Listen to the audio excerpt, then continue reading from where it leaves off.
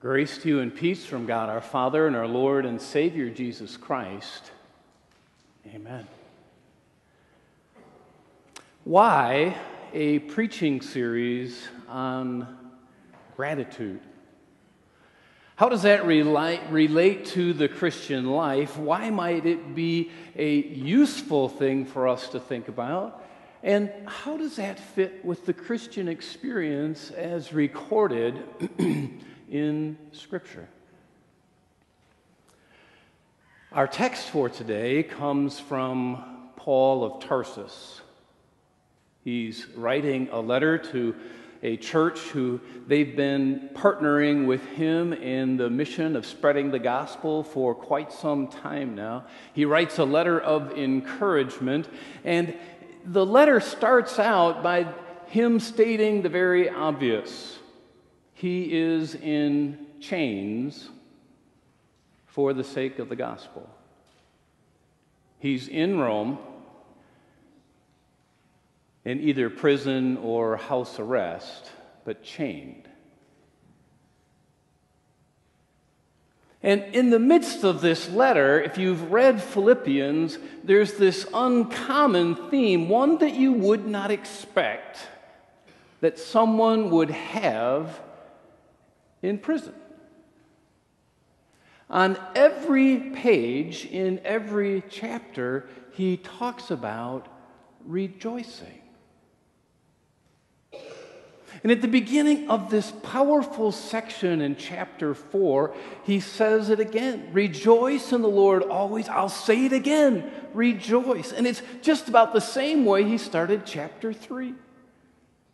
And when we first hear those words, our initial thought might be, oh, Paul's having one of those mountaintop experiences. He's gone off onto a retreat. He's left all of his earthly responsibilities behind. And there he is, just having this wonderful communion with God time. But in fact, it's not that at all. He's in chains. So, these seven Sundays, starting today, we're going to dive in and take a look. What's there in Philippians chapter 4, verses 4 through 20? A few verses from where we start today, Paul says this other thing that, that just might resonate with you, might even create a little bit of longing. He says, I've learned to be content. A few verses later, he says, I've learned the secret of being content.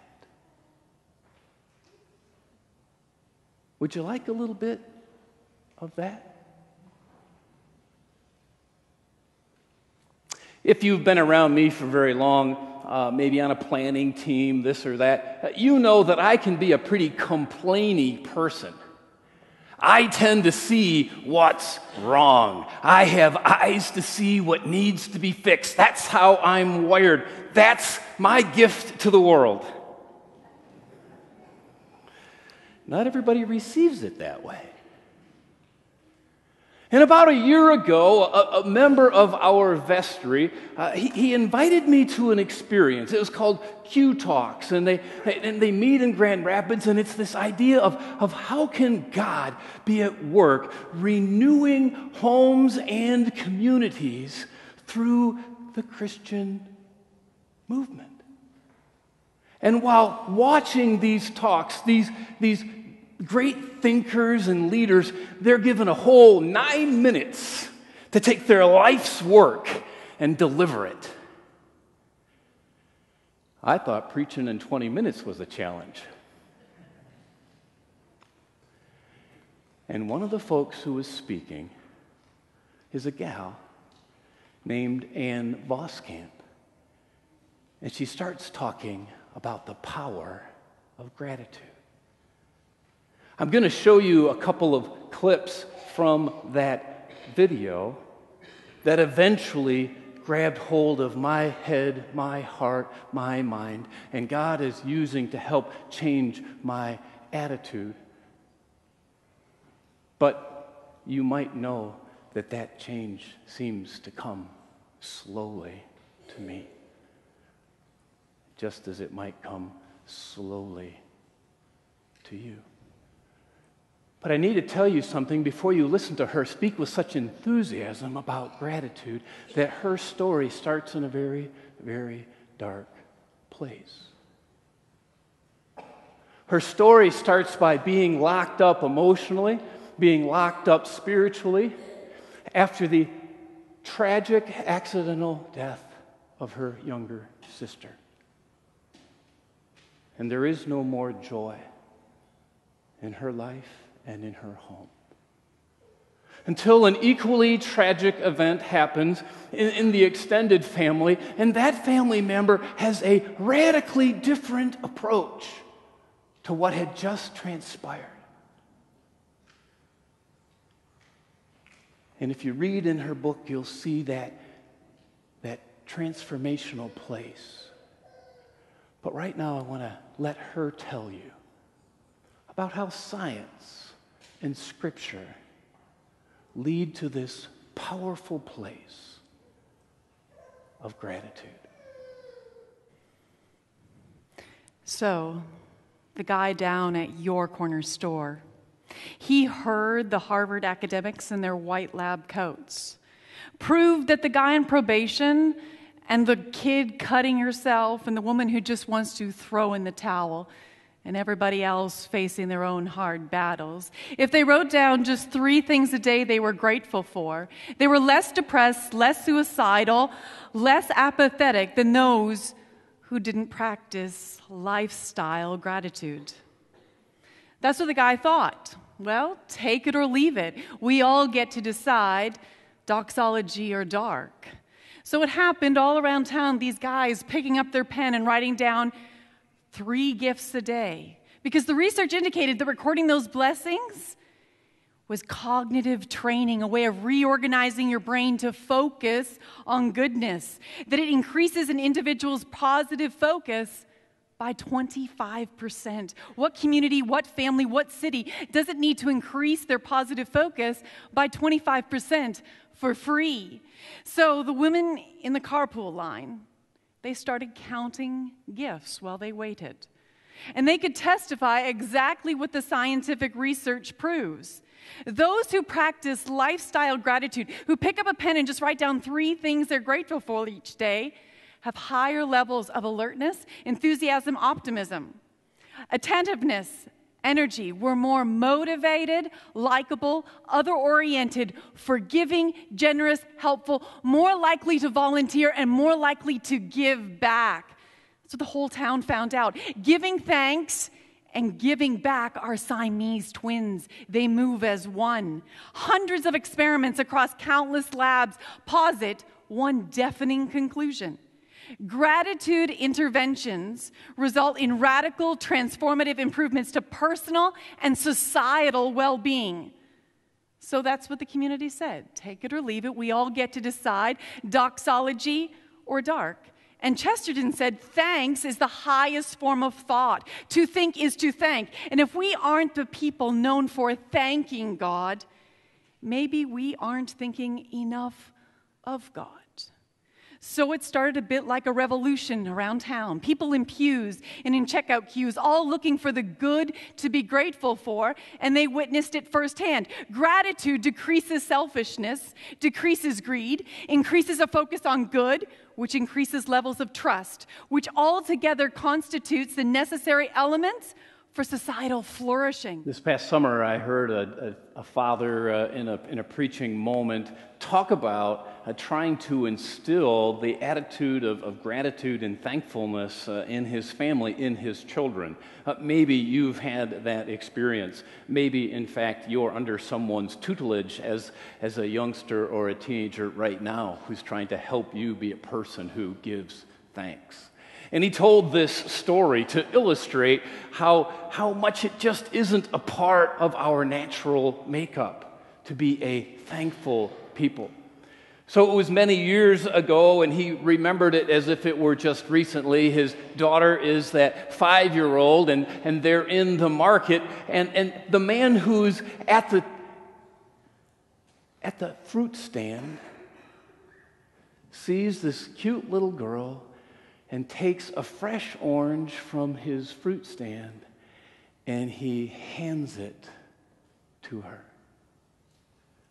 Dad, doing his coaching job off to the side, you know what he's going to say? He says, So, what do you say to the nice man?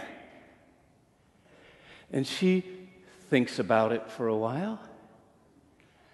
Then she thrusts it up to him and says, Peel it.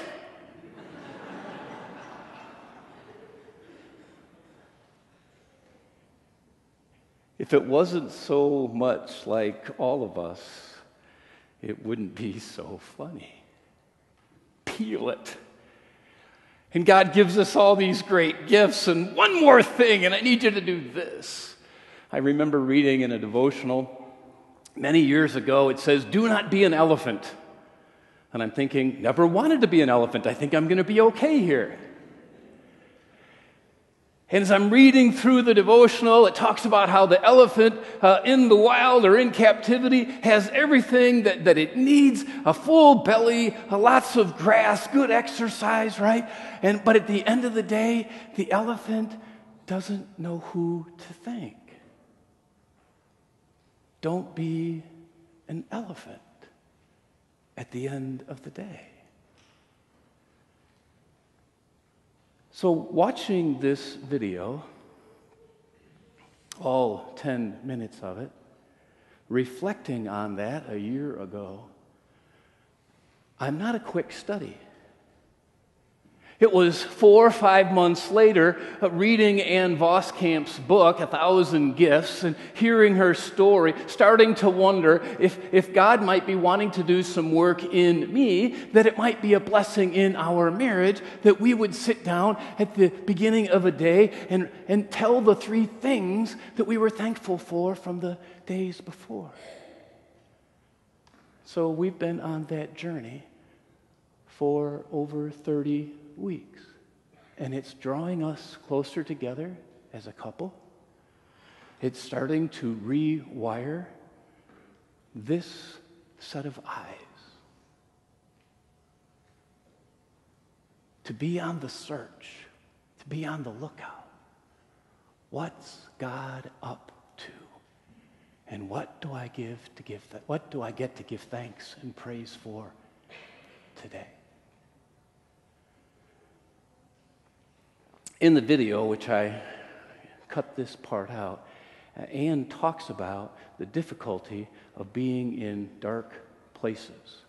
She, she pictures it as if, as if there's hard things happening in your life, dark things happening in your life, and, and, and, and picture yourself standing in a dark hole and then with a shovel in your hand trying to dig your way out. But the problem is we tend to be thinking about the dark things, about the hard things, about the difficult things, and we're just moving around the dark stuff and we're actually creating a darker space. And she goes on to talk about how, in fact, it, the darkness doesn't, doesn't remove darkness. But it's only the light that scares and pushes away the darkness in our lives. And she invites us to be people who focus on the light.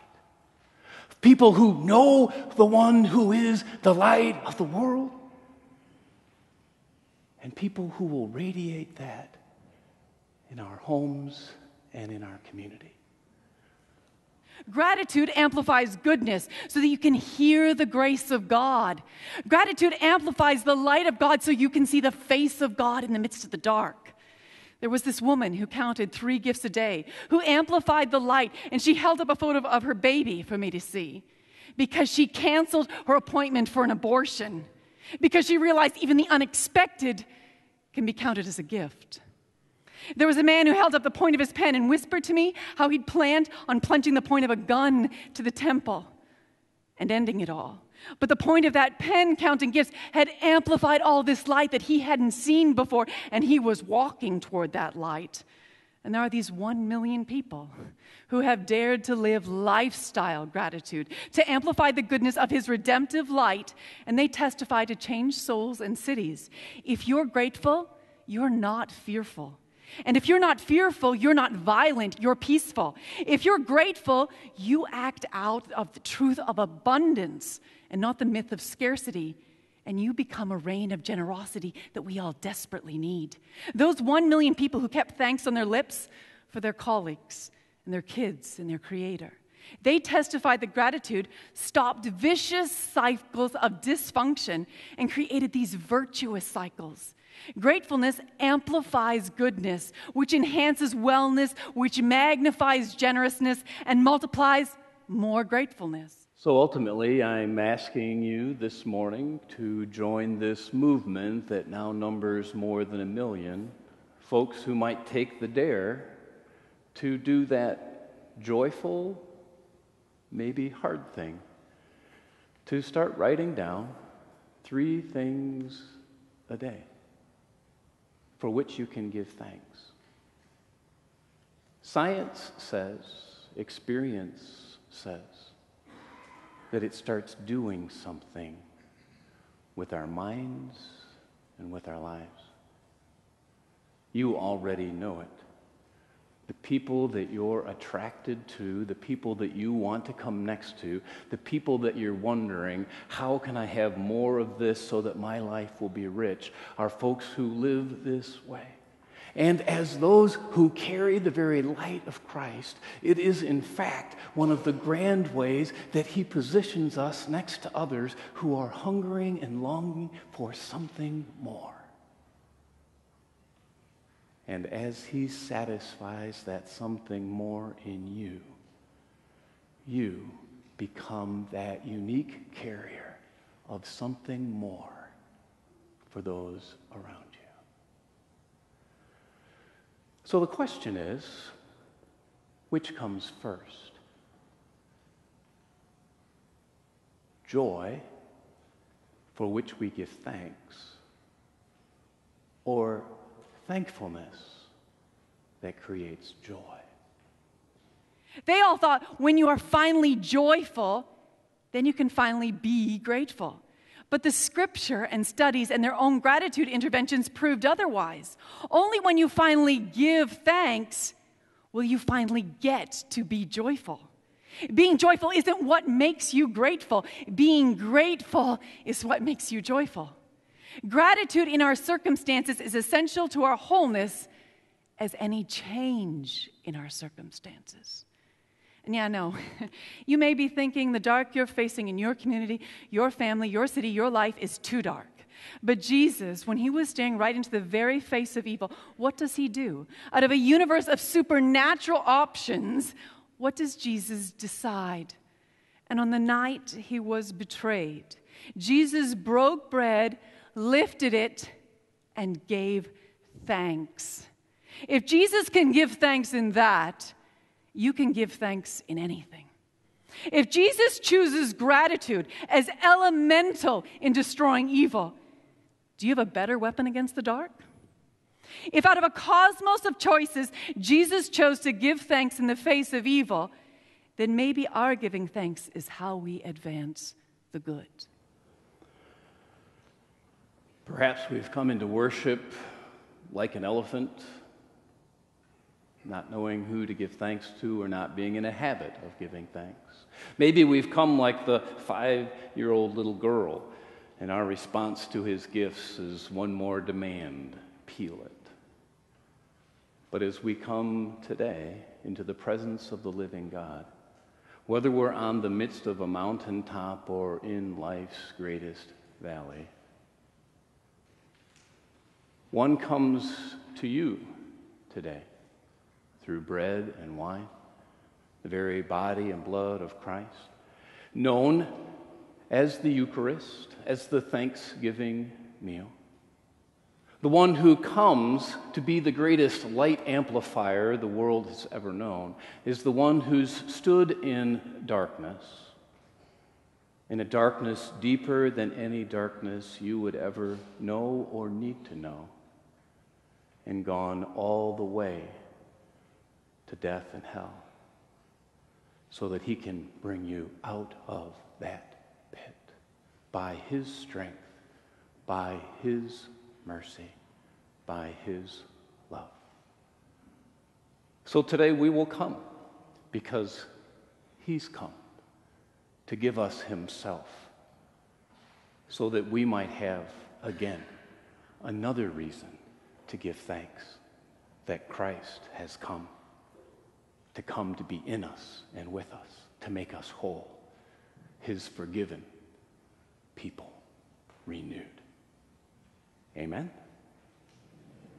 Amen. And now may the peace that passes understanding keep our hearts and minds in Christ Jesus, now and forever. Amen.